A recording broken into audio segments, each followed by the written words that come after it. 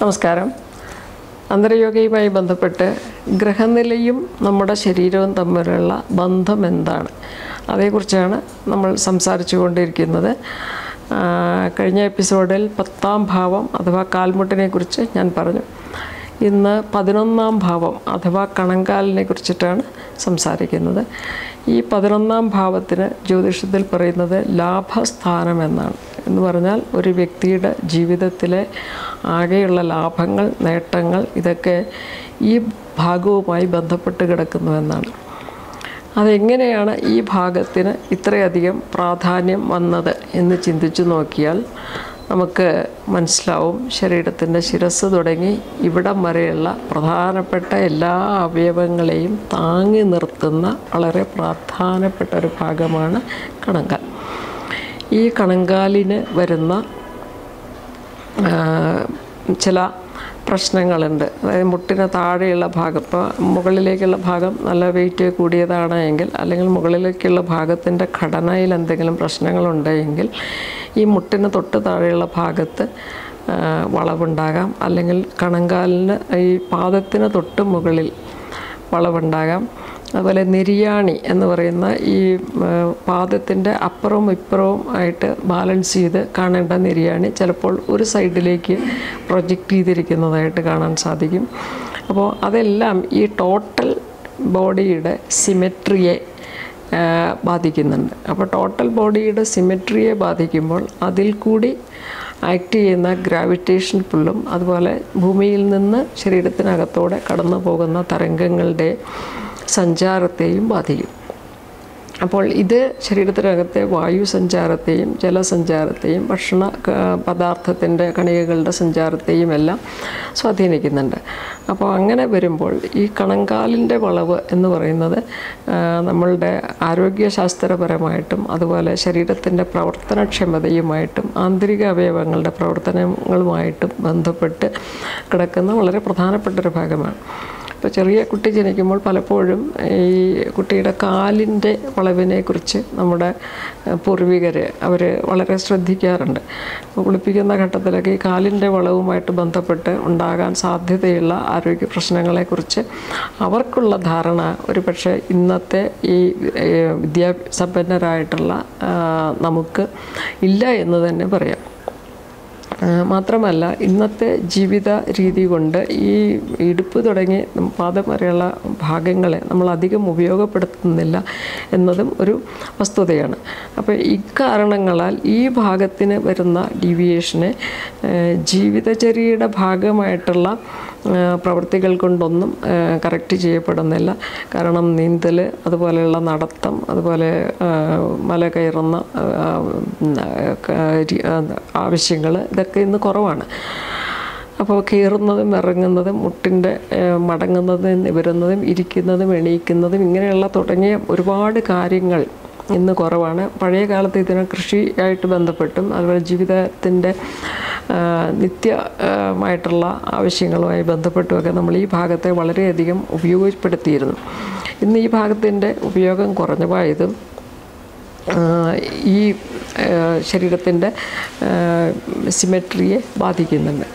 അപ്പോൾ മാത്രമല്ല ജനിക്കുന്ന കുഞ്ഞുങ്ങളിൽ പഴയ കാലത്തെ പോലെ ഈ ഭാഗത്തിന്റെ ഘടനയെക്കുറിച്ചൊന്നും ഇന്ന് ആരും വളരെ പ്രാധാന്യം കൊടുക്കുന്നില്ല എന്നാണ് എനിക്ക് മനസ്സിലാക്കാൻ സാധിച്ചിട്ടുള്ളത്.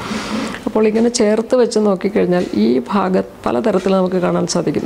ഇതുമാതിരി ഇങ്ങനെ ഡീവിയേറ്റ് ചെയ്തിരിക്കുന്നത് കാണാൻ പറ്റും. ഇങ്ങനെ ചേർത്ത് പിടിക്കാൻ പറ്റാത്ത അവസ്ഥ കാണാൻ സാധിക്കും. ഇങ്ങനെ ചിലർക്ക് വളരെ ചേർത്ത് ഇങ്ങനെ പിടിക്കാൻ സാധിക്കും. അപ്പോൾ അതിന്റെ ഇടയിലുള്ള ഗ്യാപ്പിന്റെ സിമെട്രിയുടെ വ്യത്യാസങ്ങളൊക്കെയും നമുക്ക് അവനവന്റെ ശരീരം തന്നെ ശ്രദ്ധിച്ചാൽ മനസ്സിലാക്കാവുന്നതാണ്. അപ്പോൾ കിടന്നതിന് ശേഷം കയ്യ കാലൊക്കെ വളരെ സ്ട്രെച്ച് ചെയ്ത് നേരെ ഇങ്ങനെ വെച്ചതിന് ശേഷം ഈ കാൽ രണ്ടും എടുത്ത് നാൽപ്പത്തി അഞ്ച് ഡിഗ്രിയിൽ നമ്മൾ ഉയരത്തിലൊരു സ്ഥലത്ത് വെച്ചതിന് ശേഷം ഓരോ കാലിനെ ഉയർത്തി പിടിച്ച് സ്ട്രെച്ച് ചെയ്ത് നോക്കിക്കഴിഞ്ഞാൽ ഈ കണങ്കാലിന്റെ വളവ് നമുക്ക് സ്വയം ബോധ്യപ്പെടും. കണങ്കാലിന്റെ വളവ് മാത്രമല്ല കണങ്കാലിന്റെ വളവ് കൊണ്ട് നമ്മുടെ ഈ കാലിന് അനുഭവപ്പെടുന്ന പിരിമുറുക്കങ്ങൾ സ്ട്രെസ്സ് അല്ലെങ്കിൽ കടച്ചിൽ അല്ലെങ്കിൽ വേദന നമുക്ക് സ്വയം ബോധ്യപ്പെടുന്നതാണ്. ഇനി രണ്ട് കാലം ചേർത്ത് വെച്ച് ഉയർത്താൻ പലപ്പോഴും പലർക്കും ബുദ്ധിമുട്ട് വരും. കാരണം ഈ ഭാഗത്തുള്ള നാടികളുടെ ബലക്കുറവ് അതിനൊരു പ്രധാന കാരണമാണ്. അതുമാത്രമല്ല ഈ കാൽ മേലോട്ട് ഉയർത്തിപ്പിടിക്കുമ്പോൾ വായു സഞ്ചാരത്തെ ശരിയായ തരത്തിൽ നമുക്ക് നിയന്ത്രിക്കാൻ സാധിക്കാത്ത അവസ്ഥ ഈ സിമെട്രിയിലെ പ്രശ്നങ്ങൾ കൊണ്ട് ഉണ്ടാകാം. അപ്പോൾ അതുകൊണ്ട് അങ്ങനെ വരുമ്പോൾ ചെസ്റ്റിനും ചില ബുദ്ധിമുട്ടുകൾ തോന്നും. പിന്നെ ഈ ഭാഗം ഈ അഞ്ചാം ഭാവം അഥവാ മനസ്സുമായി ബന്ധപ്പെട്ട് കിടക്കുന്നു എന്നാണ് പറയുന്നത്. അപ്പോൾ ഏറ്റവും പ്രധാനപ്പെട്ട ഒരു കാര്യം എന്ന് പറയുന്നത് ഈ ഭാഗത്തിന്റെ ഘടന മാനസിക പ്രശ്നങ്ങൾ ആയിട്ട് ബന്ധപ്പെടുന്നുണ്ട് മാനസിക ആരോഗ്യവുമായി ബന്ധപ്പെട്ട് കിടക്കുന്നു. അപ്പോൾ അതുകൊണ്ട് തന്നെ ഈ ഭാഗത്തെ വളരെ പ്രാധാന്യത്തോടെ നമ്മൾ ശ്രദ്ധിക്കുകയും അതിന്റെ പോരായ്മകൾ നമ്മൾ ശരിയായ തരത്തിൽ പരിഹരിക്കാൻ ശ്രമിക്കുകയും ചെയ്തില്ല എങ്കിൽ മാനസിക പ്രശ്നങ്ങൾ വർദ്ധിക്കാനുള്ള സാധ്യതയുണ്ട്. വളരെ ബാലൻസ്ഡ് ആയിട്ട് നിൽക്കുകയും നടക്കുകയും സംസാരിക്കുകയും ചെയ്യുന്ന വ്യക്തികൾക്ക് മാനസിക പ്രശ്നങ്ങളെ ബാലൻസ് ചെയ്യാൻ സാധിക്കും. അപ്പോൾ സ്വന്തം ശരീരത്തെ തന്നെ ബാലൻസ്ഡ് ആയിട്ട് നിർത്താൻ സാധിക്കുന്നില്ല എങ്കിൽ അഥവാ ഫിസിക്കൽ ബാലൻസ് കുറവാണ് എങ്കിൽ മെന്റൽ ബാലൻസ് ഏതെങ്കിലും ചില കാര്യങ്ങളിലെങ്കിലും ഈ മെന്റൽ ബാലൻസ് കുറവായിട്ടുള്ളതായിട്ട് നമുക്ക് കാണാൻ സാധിക്കും. ഇത് ഈ കാര്യം കൂടുതൽ വ്യക്തമായി മനസ്സിലാക്കുന്നതിന് പുകവലി മദ്യപാനം തുടങ്ങിയ ദുശീലങ്ങളുള്ള വ്യക്തികളുടെ ഈ ഭാഗത്തെ നമ്മൾ പഠിച്ചാൽ വളരെ വ്യക്തമായി മനസ്സിലാകും. ഇനി ഗ്രഹനിലയിൽ നിന്ന് ഈ ഭാഗത്തെക്കുറിച്ച് പല സൂചനകൾ കിട്ടും. പതിനൊന്നാം സ്ഥാനത്ത് നിൽക്കുന്ന ഗ്രഹം പതിനൊന്നാം സ്ഥാനത്തെ ബലഹീനമാക്കുന്ന ഏതെങ്കിലും മറ്റ് ഗ്രഹങ്ങളുടെ സ്വാധീനങ്ങൾ അതുപോലെ പതിനൊന്നാം ഭാവത്തെ എന്റെ ഭാവത്തിന്റെ ആധിപത്യം വഹിക്കുന്ന ഗ്രഹം ഇങ്ങനെയുള്ള പല കാര്യങ്ങളും നമുക്ക് ഗ്രഹനിലയിൽ നിന്ന് മനസ്സിലാക്കാൻ സാധിക്കും. അതുവഴി ഈ ഭാഗത്തെ ബലപ്പെടുത്തുന്നതിന് വേണ്ടുന്ന പല നിർദ്ദേശങ്ങളും കൊടുക്കാനായിട്ട് സാധിക്കും. അപ്പോൾ ഈ ഭാഗത്തെ ബലപ്പെടുത്താനുള്ള നിർദ്ദേശങ്ങൾ ഈ മനസ്സിന്റെ ദൗർബല്യങ്ങളെ കുറയ്ക്കുന്നതിന് വളരെ സഹായകമാണ്. അപ്പോൾ അതുകൊണ്ട് തന്നെ ഈ ഭാഗത്തെ ബലപ്പെടുത്തുന്നതിന് വേണ്ടിയിട്ടുള്ള ശ്രമങ്ങൾ ഒരു വ്യക്തിയുടെ ടോട്ടൽ ആയിട്ടുള്ള പല കാര്യങ്ങളെയും കർമ്മശേഷിയെയും അതുപോലെയുള്ള മനസ്സ് മനസ്സിന്റെ കരുത്തിനെയും അതുവഴി ബുദ്ധിയുടെ പ്രവർത്തനങ്ങളെയും അതുപോലെ അങ്ങനെയുള്ള പല പല കാര്യങ്ങളെയും ഈ ഭാഗത്തിന്റെ ഘടന നന്നാക്കിയെടുക്കുന്നത് കൊണ്ട് നമുക്ക് സാധിക്കുന്നതാണ്. നിരന്തരം വ്യായാമം വേണ്ട ശ്രദ്ധ വേണ്ട ഒരു ഭാഗമാണ് ഇത്. നമ്മൾ മുൻപുള്ള കാലഘട്ടങ്ങളിൽ എണ്ണയൊക്കെ ഇട്ട് തടവുകയും അതുപോലെ നീന്തൽ പോലെയുള്ള കാര്യങ്ങളൊക്കെ നിത്യജീവിതത്തിൽ പ്രാവർത്തികമാക്കുകയും ഒക്കെ ചെയ്തിരുന്ന ഒരു ജീവിതചര്യ നമുക്കുണ്ടായിരുന്നു.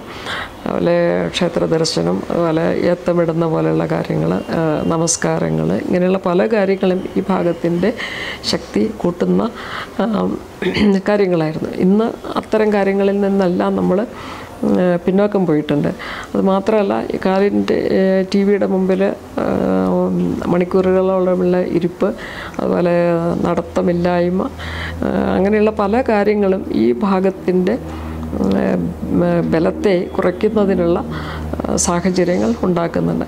അപ്പോൾ അതെല്ലാം മനോബലം കുറയ്ക്കുന്നുണ്ട്. അപ്പോൾ ബുദ്ധിപരമായി വളരെ നേട്ടങ്ങൾ ഉണ്ടാക്കിയിട്ടുള്ള വ്യക്തികൾക്ക് പോലും മനസ്സിന്റെ നിയന്ത്രണം സാധ്യമല്ലാത്തതുകൊണ്ട് അവർ പലതരത്തിലുള്ള തെറ്റായ പ്രവർത്തനങ്ങളിലേക്കും നീങ്ങുന്നത് ഇന്ന ഈ കാലഘട്ടത്തിന്റെ പ്രത്യേകതയാണ്.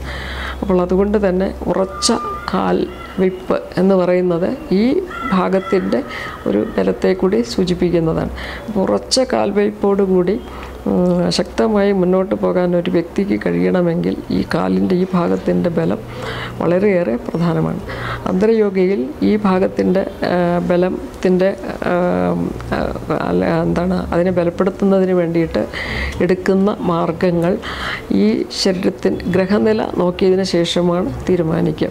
അപ്പോൾ ഗ്രഹനിലയിലെ ദൗർബല്യങ്ങൾ നാടികൾക്കുണ്ടാക്കുന്ന ദൗർബല്യങ്ങൾ അസ്ഥികളുടെ വളവ് കണങ്കാലും മുട്ടുമായിട്ടുള്ള കണക്ഷന്റെ പ്രത്യേകത. അതുപോലെ കണങ്കാലിന്റെ അടിഭാഗത്തും കൂടെ പോകുന്ന ഞരമ്പുകളുടെ ബലക്കുറവ് പാദവുമായിട്ടുള്ള ഘടിപ്പിക്കുന്ന ഭാഗത്തിന്റെ വളവുകൾ. ഇങ്ങനെ പല കാര്യങ്ങൾ പഠിച്ചതിന് ശേഷമാണ് ഈ ഭാഗത്തെ ബലപ്പെടുത്തുന്നതിന് വേണ്ടെന്ന് യോഗ നിർദ്ദേശിക്കുന്നത്. ഇനി ഈ ഭാഗത്തിൽ ബലപ്പെടുത്തുന്ന യോഗ ഇവിടെ എന്തെങ്കിലും പ്രശ്നങ്ങളുണ്ടെങ്കിൽ അത് വളരെ കുറച്ച് സമയം കൊണ്ടൊന്നും മാറ്റിയെടുക്കാൻ എളുപ്പമല്ല. അപ്പോൾ കുറച്ച് കാലമെങ്കിലും ഈ യോഗ രീതി ആവർത്തിച്ചാൽ മാത്രമാണ് ഈ കണങ്കാലിന്റെ ദൗർബല്യങ്ങളെ മറികടക്കാനായിട്ട് സാധിക്കുക. കാരണം കണങ്കാലിന് മറ്റ് ഭാഗങ്ങളുടെ എല്ലാം സിമെട്രിയിലെ പ്രശ്നങ്ങൾ ഒരുമിച്ച് ചേർന്ന് നമുക്ക് ദൃശ്യമാകാൻ സാധിക്കുന്ന ഒരു ഭാഗമാണിത്. അപ്പോൾ തലച്ചോറിനോടും തന്നെ പ്രാധാന്യമുള്ള ഒരു പ്രധാനപ്പെട്ട ശരീരഭാഗം തന്നെയാണ് ഈ പതിനൊന്നാം ഭാവം എന്ന് പറയുന്നത്. ഇത്രയും കാര്യങ്ങൾ സംസാരിച്ചുകൊണ്ട് ഞാൻ ഈ എപ്പിസോഡ് അവസാനിപ്പിക്കുന്നു. നന്ദി.